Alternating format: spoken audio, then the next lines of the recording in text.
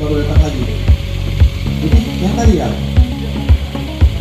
Oh ya, tadi syuting nanti mereka akan kumpul dengan timnya.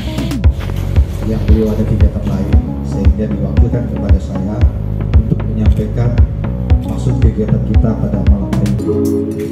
Jadi malam hari ini Polda Metro Jaya melalui tim patroli kritis presisi akan melaksanakan tugas rutin seperti biasa yaitu menjaga Kamtipmas sampai dengan dini hari.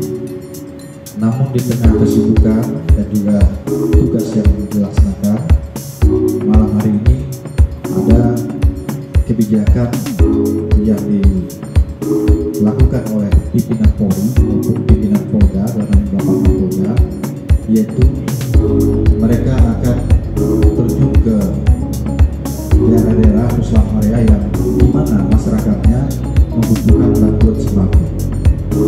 Jadi malam hari ini kita akan mendorong kurang lebih 5.000 paket sembako kepada masyarakat yang membutuhkan.